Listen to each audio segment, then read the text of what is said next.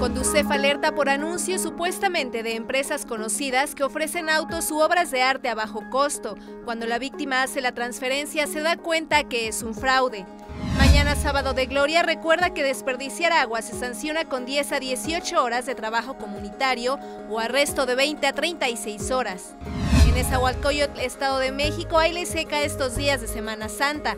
La medida será hasta el domingo 9 de abril. En Bélgica fueron incautados conejitos de Pascua hechos con la materia prima de las pastillas de éxtasis. Iban a ser enviados a Hong Kong. Después de que una tormenta de hielo azotara Canadá, miles de hogares permanecen sin electricidad en Quebec. Consulta más noticias en www.unotv.com.